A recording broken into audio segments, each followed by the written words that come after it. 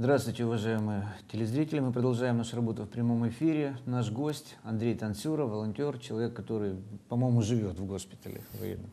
Я вам даже открою маленький такой курьезный, так сказать, произошедший с ним случай. Андрей приехал к нам прямо из госпиталя, вот с пылу жару, еще боялся, что он опоздает на эфир. И по дороге просто забыл бахилы себе снять. Просто в бахилах сюда и приехал. То есть это говорит о том, насколько человек погружен во все эти проблемы. Но спасибо, что урвали вот эти полчаса, нашли время приехать к нам. Вы встречали вот этот борт последний, который прилетел из, э, с ранеными нашими бойцами. Вот. Сколько там было ребят, э, какие ранения, много ли тяжелых ребят? Вы сказали слово «последний», у военных не принято говорить слово «последний», при, принято говорить слово «крайний». Но потом при этом я подумал, что все-таки было бы очень хорошо, если бы это был, был все-таки последний этот бой.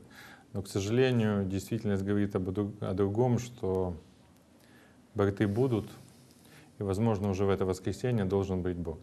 Потому что количество раненых в Днепропетровске — это база, э, с которой уже э, распределяют раненых по Украине, основная, достаточно переполнена. Чтобы люди знали, когда человек попадает, получает ранение, его госпитализируют в ближайшую больницу к передовой, оттуда его перемещают в Днепропетровск, стабилизируют состояние в зависимости от степени тяжести ранения, и дальше уже определяют в тот госпиталь, который может при, принять. Ну, смотрят по загруженности. Вот, и туда распределяют.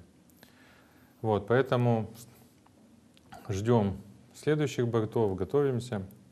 А ну, потому... Судя по тому, извините, реплика, судя по тому, что вот буквально сегодня и вчера прошло сообщение о том, что в Днепропетровске массово э, жители города сдают кровь, потому что крови надо, и крови надо много, значит, судя по этому, что, так сказать, это уже говорит о том, что ребят там достаточно. Количество. Э, это раз, плюс э, я не знаю, какие мощности у нашей станции переливания крови, но люди должны понимать, что ту кровь, которую они сдают в нормальных условиях, не боевых, она не может сразу попасть к э, больному. Она должна отлежаться какое-то время, и там время очень долгое, насколько я знаю, чтобы прошли все анализы, там, кажется, два круга анализов, для того, чтобы выявить все какие-то вирусы или заболевания, которые могут быть в крови. Поэтому, если ты сегодня сдаешь кровь, то я не, не, не врач, я не знаю, через сколько можно будет э, эту кровь использовать, но значительно позже.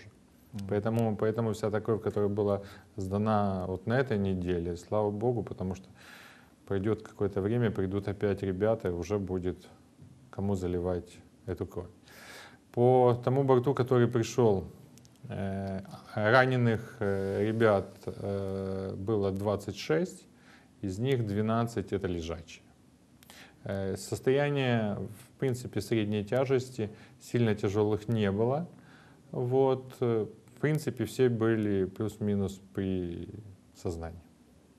Но в основном это э, ранения, так сказать, огнестрельные, там, да, осколочные. Миновзрывные, осколочные ранения. Мало того, э, там ребята ну, уже шутили над, над собой, там 5 или 6 человек, которые пострадали от одной мины. Группа при освобождении, э, разблокировки э, ну, аэропорта, ребята прятали за БТРом, шел бой, там стояла группа, человек 30, наверное. И вот прямо в середину этой группы упала мина. Что самое удивительное, всего лишь один погибший и 15, и 15, и 15 людей раненых. Ну, а случаи обморожения? Случаи обморожения есть. Вот нескольким ребятам уже удалили пальцы на ногах. И у одного человека он пытается, ну, не хочет, чтобы удаляли, но пока не дает согласия. Но исходя из клинической картины, скорее всего, тоже придется удалить. Но немного таких случаев? Нет, Потому что, ну... судя по вот, Великой Отечественной войне, вот, читая, так сказать, воспоминания участников вот, э, много очень удивительных вещей происходит вот, во время зимних кампаний военных. Как-то организм настраивается таким образом, что люди практически не простужались, э, не болели и, в общем-то, выдерживали все эти испытания. Ну, говорить много-немного. То есть включается какой-то внутренний ресурс? Конечно, оно да. включается. Просто во время Великой Отечественной войны погибли миллионы, поэтому на фоне этого как-то по-другому. Сейчас, слава богу, гибнут сотни и тысячи. Ну, значительно меньше, чем во время Великой Отечественной войны. Но случаев обморожения немного. В основном э, они э, проявляются, если человек там находился в окопе, так, э, влажность, смена температуры, и человек не чувствует, что э, у, у него мокрые ноги, а потом, когда уже начинает ощущать дискомфорт, может быть уже поздно. Что сегодня необходимо э, ребятам? Наверное, в какое-то усиленное питание, да, какие-то медикаменты, предметы личной гигиены, белье, одежда. По поводу питания. Э, Питание всегда нужно, но на данный момент люди откликнулись настолько сильно и настолько мощно, что у ребят э, ну, в плане еды достаточно много. Я бы хотел бы посоветовать людям, которые хотят прийти и чем-то угостить ребят, чтобы э, не, не- не- ну, очень не хотелось, чтобы не происходила такая ситуация. Вот ну, борт прилетел, э, все на- заговорили, все сразу нанесли, нанесли, нанесли, там куча продуктов. Это все скушать нельзя.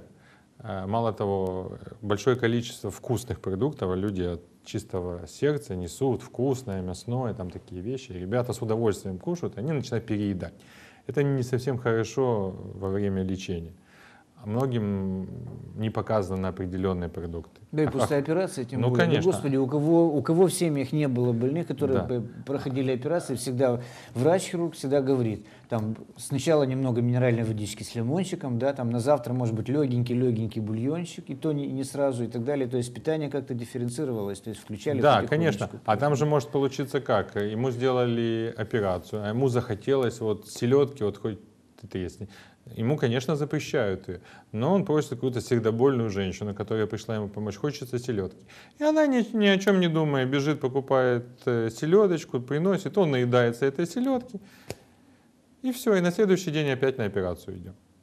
Потому Да, что и все... потом начинается обильное питье, которое Да. тоже не очень.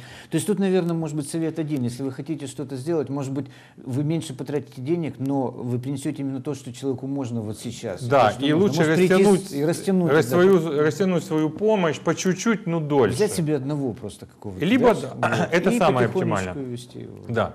И ты будешь знать, обменяться телефончиками. И всегда можно позвонить и спросить, у тебя все есть. Что может принести? Вот это сам, вот э, обмениваться телефонами и, и спрашивать, что нести к ребятам. Не, на- не набирать сумки и идти, а зайти и просто спросить, можно ли я вам позвоню, чтобы, или когда можно прийти, чтобы узнать, или вы мне сейчас сделаете заказ, а а я вам завтра принесу. Это будет очень в тему, и человек закажет э, то, что ему можно. Вот. И чтобы это не лежало, потому что все продукты, которые ну, накладываются, да, большого количества холодильников нету. Это будут тараканы, еще что-то. Поэтому с этим борются. Ну, то есть И надо жалко по-умному подходить к этому вопросу. В плане предметов личной гигиены, одежды, белья, нормально они Э, снабжены? Ну, к- как, э, нормальное снабжение волонтерами. То есть у нас есть э, волонтеры, которые работают в Одесском военном госпитале. Они делятся на две категории. Есть волонтеры, которые занимаются медицинской базой, то бишь я к ним отношусь, это э, медикаменты, это какая-то помощь в расходниках, это э, медицинская аппаратура м, необходимая.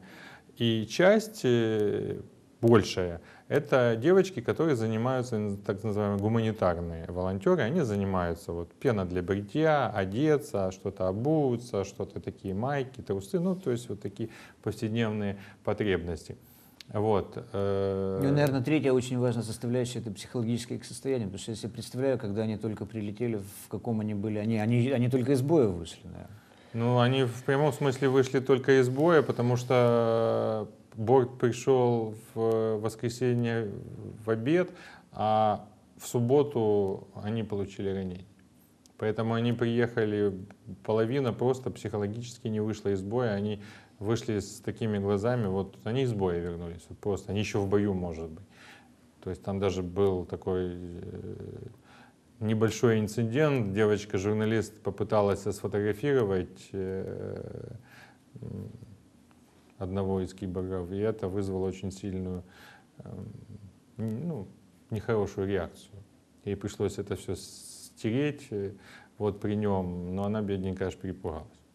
А мы, кстати, говорили в эфире еще раньше, вот, и когда у нас вот, был большой телемарафон вот, с пару месяцев тому назад, и вот после этого еще психологи приходили к нам в эфир, они обязательно э, предупреждали, говорили, что есть случаи, когда вот, да, действительно журналисты ушлые, они же хотят, так сказать, попасть из первых уст, взять интервью и так далее, не все соглашаются. И самое главное, тут надо уважать несогласие человека. И самое главное, нужно спросить его. Вот, потому что есть э, ребята, которые ну, готовы поделиться своими мыслями, а есть, которые они, они еще не адаптированы, так сказать. Э, я просто хочу ну, зрителям рассказать о специфике общения с ребятами, которые вернулись оттуда.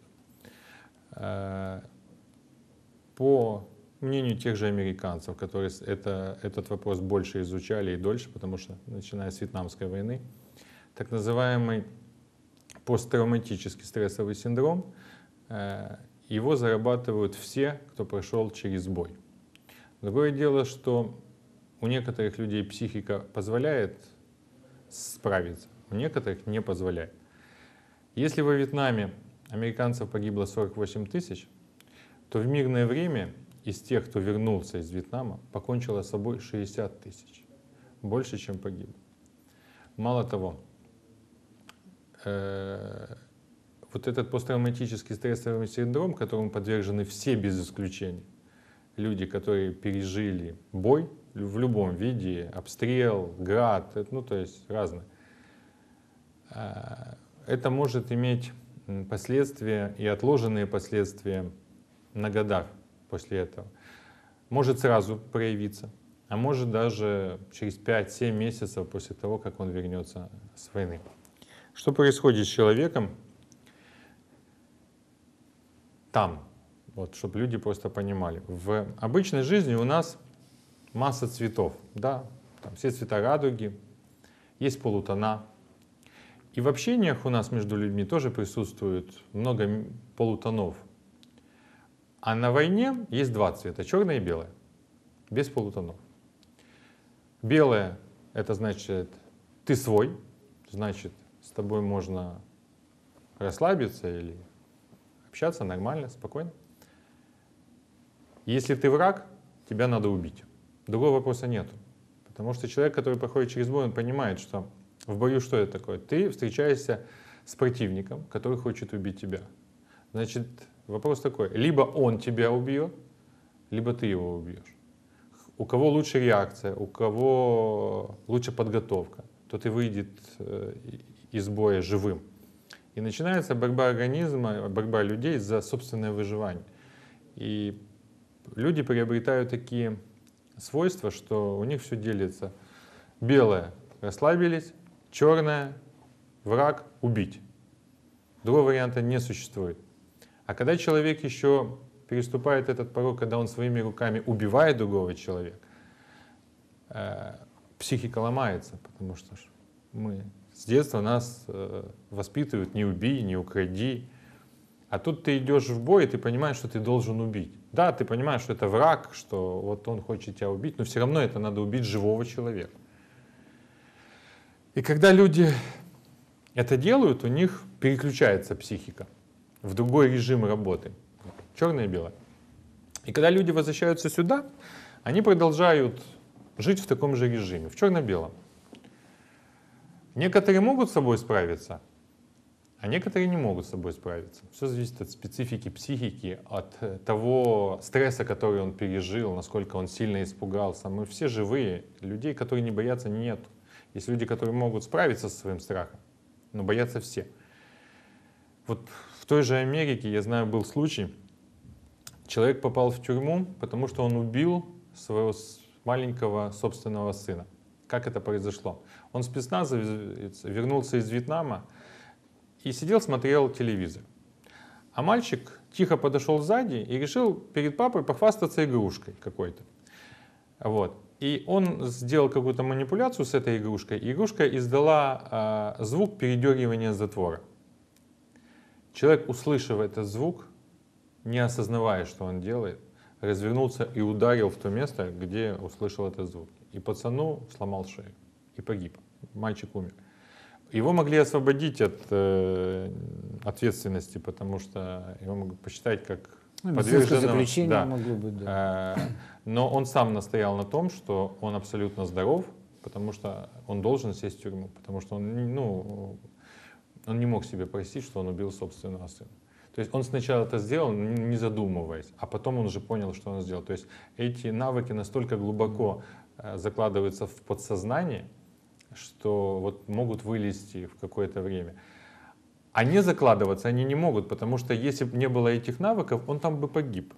Так, благодаря этим навыкам он выжил, но они остались в мирной То есть, жизни. да, на инстинктивном уровне он борется за выживание своего организма. Так вот, в преломлении вот к нынешней нашей ситуации, то есть надо понимать, что э, ведь многие, особенно там женщины, девушки детские, вот многие хотят пойти в госпиталь, они хотят просто посмотреть в глаза этому человеку, просто поговорить с ним, поддержать, там не обязательно что-то перенести. Так вот тут надо, наверное, понимать, что э, нужно держать ухо востро и знать, как себя вести с этими ребятами. Надо- Потому что ты можешь выступить или в роли черного, или в роли, в роли, Да, в роли а, белого. а, все же очень просто. То есть вот э, я слушал э, лекцию по этой проблеме, и там приводился просто пример, что если там, мужчина вернулся с, с войны, да, и тут жена ходит вокруг него и раз устроила скандал ему, потому что он там, ну, что-то ей не понравилось, да. А как психика работает? Она на меня кричит, значит, он враг, значит, убей. Вот. Понятно, что человек пытается в голове с этим справиться, но в обычной жизни это может закончиться там дракой, еще чем-то. Ну зачем это нужно? Поэтому для того, чтобы таких вещей не было, нужно знать, что с этими ребятами, когда общаться, не, не надо спрашивать, что с ними случилось. Это самое интересное, конечно. Не надо человека э, создавать ситуацию, чтобы он мыслями вернулся вот э, в тот в бой, когда он был ранен. Если разговаривать, То есть не, не деребите Да, не- душев- да, душевные да, да. раны, с которыми да, которые да, да, только не сыпать зашить. соль в рану, Да. так, э, вот. Обо всем чем угодно. Самое лучшее это говорить на отвлеченные темы. О хороших темах, о хороших приятных фильмах, о каких-то хороших жизненных ситуациях, о детях, о чем угодно. Но желательно н- не о войне. Вот. И если уж так вот хочется просто и- или нужно там что-то узнать, надо сначала спросить, а можно я задам вопрос вот в такой-то тематике, а потом уже задавать. Вот просто не трогать то, что с ним случилось, а уводить их от, э, от того, что они пережили. Вот и все. Это будет самое лучшее в общении То есть стараться им помочь быстрее адаптироваться к Конечно. нормальной мирной. Конечно, чтобы он вернулся и видел, что здесь вокруг э, друзья, что они не желают тебе э, плохого. Они пришли только с благими, хорошими намерениями. И вот, кстати, еще раз просто хотелось бы обратиться к коллегам тоже. Не спешите фотографировать и снимать. Вот придет еще один борт, я так понимаю, скоро. Лучше подойдите, спросите, можно я сфотографирую, а потом уже фотографируйте, Да. чтобы не вызывать у ребят реакцию. Потому что, конечно, хочется жареное видео, там ребята на костылях перебинтованы, кровь проступила сквозь бинт, но Извините, это как раз не то место и не то время, когда вот пиариться можно на этом. Вы пришли не с пустыми руками. Час назад вы сняли все-таки интервью, ну, наверное, с согласия нашего Конечно, бойца. конечно. Вот, э, мы успели подготовить буквально за последние минуты перед эфиром его к показу. Давайте мы вот посмотрим.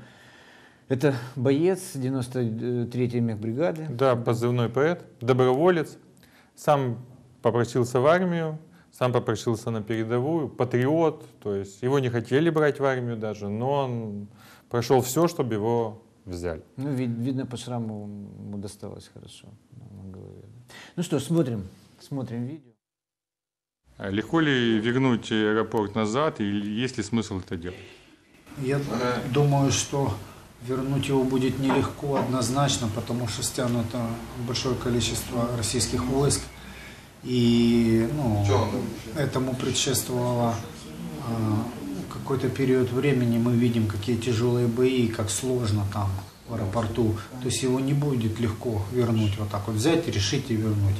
Э, Ну, а если смысл его возвращать, я думаю, есть по-любому, потому что тогда какой смысл вообще нам воевать, если мы отдадим аэропорт, отдадим еще какие-то города, поселки, ну, то есть блокпосты, какой смысл тогда? Конечно, есть смысл. Может быть, не в данный момент, не, не сегодня, там, не завтра, но при первой возможности ну, мы должны атаковать. Мы не должны занимать позицию обороны. так решительно настроены. И... Очень, ребята очень мотивированы. У меня был, была такая встреча, я не помню, я вам рассказывал или нет. Э, Я живу в квартале от военного госпиталя, буквально на Семинарской рядышком. И там киоск «Союз печати». Вот, и я обычно всегда покупаю газеты в этом киоске. Вот, ну, подхожу, какой-то, я даже не понял, мужчина в полу, то ли пальто, то ли халат, как-то даже глаз не положил.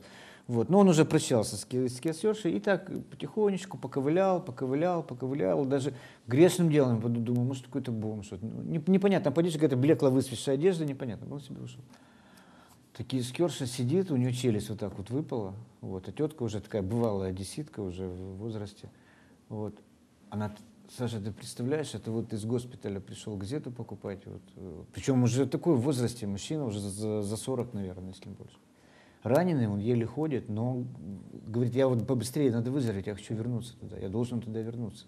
Там, И- мы, там мои братья, там мои побратимы. Я это очень сильно чувствую э, э, реально, то есть э, я не могу судить, насколько научилась воевать моя, наша армия, потому что я это не вижу. Я слышу, что научилась, да, но то, что я вижу своими глазами, дух ребят, которые оттуда приходят, он в разы выше. То есть я в госпитале с самого практически начала, когда начали приходить борты, я видел ребят, которые были летом в начале, слышал их разговоры, вот.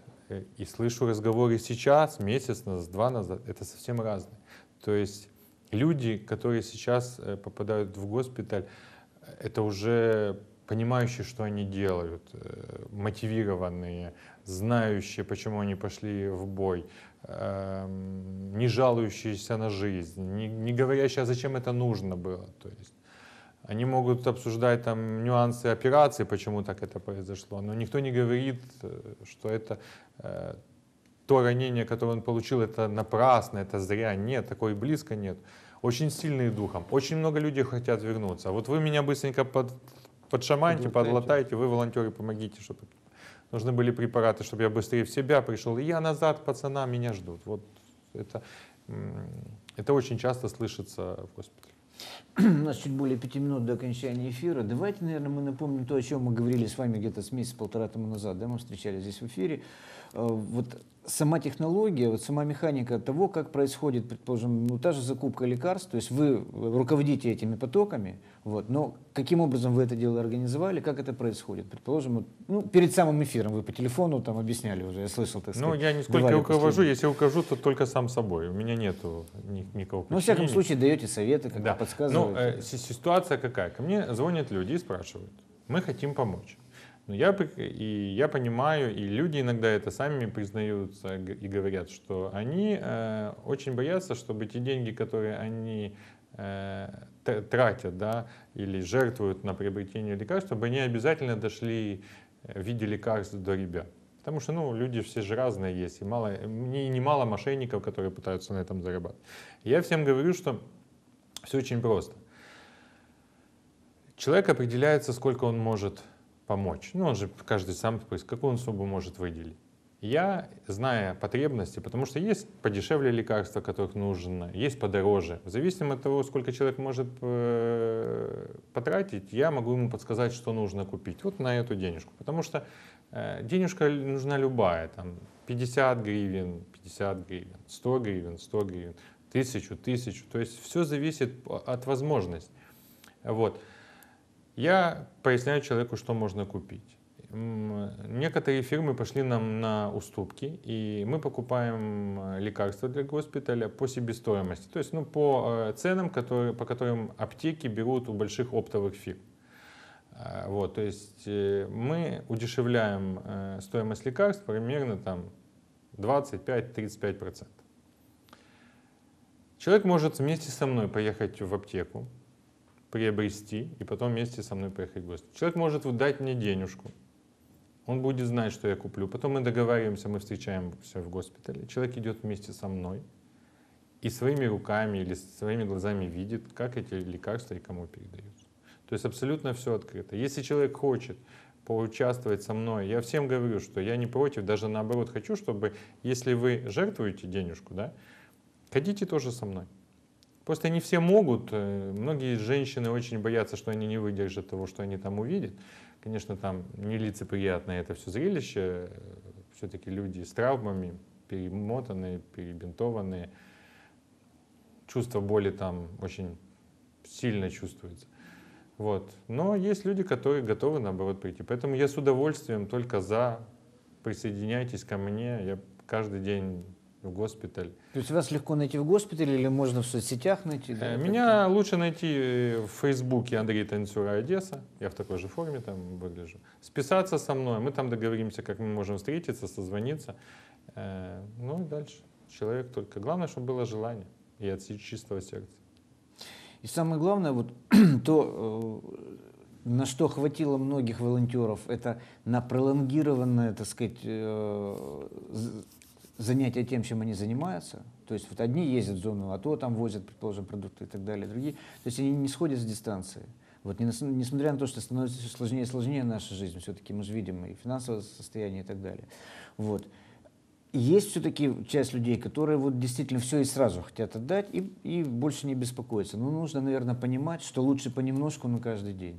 Я, Э, Вы имеете в виду э, волонтеров или дарителей? Я имею в виду дарителей. А, что волонтеры, они, в- они в своем русле. Они Да. продолжают работать. Если, да. конечно, лучше понемногу, но чаще, чем сразу. То есть, э, да, есть э, определенный круг людей в моей практике, которые когда-то один раз потратив деньги, они для себя поставили галочку, сказали, ну вот я потратил, э, или потратился, и потратилась, а остальное пусть другие тратятся. Но, к сожалению, получается так, что э, так можно думать, когда количество дарителей бесконечно, да, ну или достаточно большое. И все люди будут думать как, так же, как ты, что надо помогать. И поэтому люди будут появляться. Но надо отдать должен, ну, понимать, что в Одессе не вся Одесса готова м, помогать ребятам. Мало того, время тяжелое, не все готовы э, из своего кармана вынуть денежку и потратить. Вот. Это Надо тоже себя заставить это сделать. Поэтому э, количество людей, которые готовы и могут это делать, достаточно ограничено. И поэтому лучше по чуть-чуть, ну дольше. Ну и я знаю, что вот в госпитале заработала служба психологической поддержки, да, которая работает с ребятами. э, Я с пока теми, не которые- пересекаюсь с этой службой, честно не знаю. Но, в Не всяком случае, я видел, там появился баннер, что вот э, открыт такой центр э, в госпитале, вот на, на углу французского бульвара. Вот, ну, наверное, психологи работают, я так понимаю. Нет, то, что психологи работают, и я э, периодически меня просят, и я знакомлю ребят э, с, псих- с психологами, их свожу, это происходит. Но я не, не владею информацией по поводу службы целенаправленной работы с психологом. Честно, не знаю. Такое первое слышу. Не так давно там проходили достаточно интересные мероприятия, концерт. Вот Юра Кузнецов играл, там э, наш пианист джазовый интересный, там наши ребята, г- артисты выступали. Вообще, как часто происходит это сейчас? Или просто нет такой возможности э, часто проводить такие какие-то массовые мероприятия? Ну, во-первых, это все зависит от э, людей, которые хотят что-либо провести. Никто же им оплачивать гонорары не будет для того, чтобы... Ну. То есть, если человек хочет, если группа какая-то хочет, тогда он, он обращается или к руководству госпиталя, или к волонтерам, совместными усилиями проводится концерт. Вот. Кроме того, всегда надо понимать, что ну, не все э, ребята могут появиться на концерте, потому что много неходячих, много плохо себя чувствующих, им не до концерта. То есть м, некоторые просто не любят данного исполнителя или дан- данный э, стиль исполнения. Ну, во всяком случае, связь э, с материком, что называется, связь с жизнью у них есть, у них есть телевидение, да, они Да, у- есть радио. телевизоры, много было и э, волонтерами, и людьми и лично передавали з- телевизоры. То есть э, у многих есть телефоны, и у них свои есть смартфоны, телефоны. Э, Периодически обращаются к волонтерам, мы помогаем тоже ребятам а, участвовать в этом. То есть, То есть связь с внешним миром у них есть, это да, самое главное. да, если... Слушай, Андрей, я прошу прощения, Да. вот наше время, вот мне дают сигнал, уже наше время под- подошло к концу. Спасибо вам огромное за то, что пришли, спасибо вам за ваш труд. Вот, и э, дай Бог нам всем это все выдержать, и Спасибо вам. пережить. Спасибо.